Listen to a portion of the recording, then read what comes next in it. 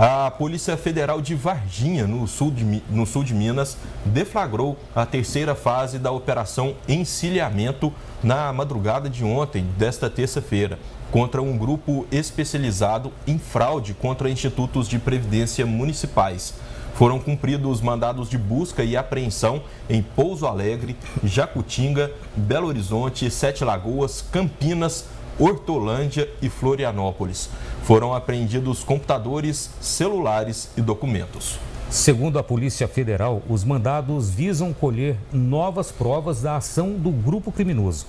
A quadrilha oferecia vantagens indevidas a agentes públicos para autorizarem e facilitarem as aplicações fraudulentas, enquanto empresas de consultoria realizavam manipulação de dados, documentos e cálculos atuariais. Bem, de acordo com a Polícia Federal, as ordens judiciais foram emitidas e cumpridas contra alvos e empresas, em tese, envolvidas nos crimes cometidos contra o Instituto de Previdência de Pouso Alegre no período de 2012 a 2018. Os suspeitos poderão responder pelos crimes de associação criminosa, gestão fraudulenta, fraude à licitação, corrupção passiva e ativa. Na primeira fase, em São Paulo, foram identificados 28 institutos de previdência municipais com investimentos em fundos não idôneos, que se valiam da aquisição de títulos e debentures sem qualquer lastro, emitidas por empresas de fachada.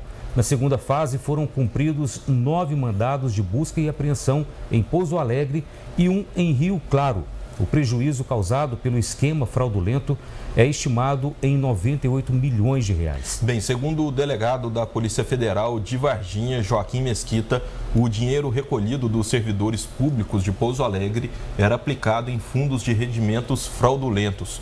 Uma empresa de Rio Claro, no interior de São Paulo, participava do esquema e era responsável por recolher o dinheiro e encontrar os fundos fraudulentos para aplicar o dinheiro recebido. Segundo a Polícia Civil, esta empresa ficava com 20 a 50% de comissão para operar todo o sistema.